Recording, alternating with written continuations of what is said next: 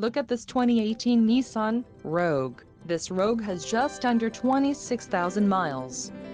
For your protection, a warranty is available for this vehicle. This vehicle gets an estimated 25 miles per gallon in the city, and an estimated 32 on the highway.